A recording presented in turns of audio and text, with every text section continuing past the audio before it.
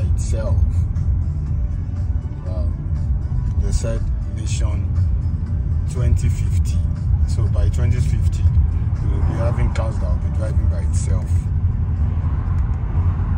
This is DHL delivery uh, robot driving by itself. So they wrote at the back that mission